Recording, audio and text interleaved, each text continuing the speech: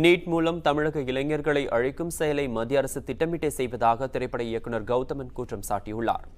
NEET தேர்வுக்கு எதிராக April பத்தொன்பதாம் தேதி நடைபெறும் போராட்டத்திற்கு ஆதரவளிக்க கோரி டிடிவி தினகரனை திரைப்பட இயக்குனர் கௌதமன் சந்தித்தார். பின்னர் செய்தியாளர்களிடம் பேசிய கௌதமன் காவிரி மேலாண்மை வாரியம் அமைப்பதற்கு தமிழக அரசு அழுத்தம் கொடுக்க வேண்டும் என்றார். மேலும் தமிழக அரசு போலியாக இல்லாமல் உண்மையாக நீட் பிரச்சினைக்கு போராட வேண்டும் என்றும் ஆட்சியாளர்கள் தங்களை காப்பாற்றிக் கொள்ள எங்களை பலியிடாதீர்கள் எனவும் கௌதமன் தெரிவித்தார். நீட்டை பெற்றுக்கொள்ளாம திரும்ப பெற்றுக்கொள்ளாம எங்களுடைய மாணவர்களை அழிக்கிறது. எங்களுடைய இளைய தலைமுறையே அழிக்கிறது.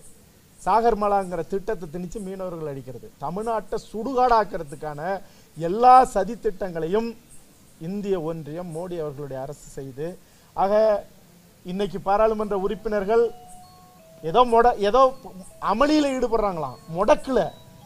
நீங்கள் தமிழ் இனத்திற்கு துரோகம் செய்கிறீர்கள் அதான். பேனர் பிடிக்கிறது பெரிய விஷயம் இல்லை. நீ ஏன் ஒரு ஒரு ஒரு ஆந்திராவில் இருக்கிற அந்த சட்டமன்ற உறுப்பினர்கள் அவங்க வந்து உண்டு இல்லைன்னு பண்ணுறாங்க அந்த அந்தஸ்து கொடுக்கலங்கிறதுக்காக. இனத்தையே அழிக்கிற இத்தனை திட்டங்களை திட்டம் தீட்டி செயல்படுத்துகிற மத்திய அரசை ஏன் நீங்க எதிர்க்கல? இல்லாட்டி ஏன் ராஜினாமா பண்ணல? முக்கிய நிகழ்வுகளை அறிந்து கொள்ள காவிரி நியூஸ் யூடியூப் சேனலை சப்ஸ்கிரைப் செய்யுங்கள். உடனுக்குடன் செய்திகளை தெரிந்து கொள்ள காவிரி நியூஸ் சமூக வலைதளங்களோடு எப்போதும் இணைந்திருங்கள்.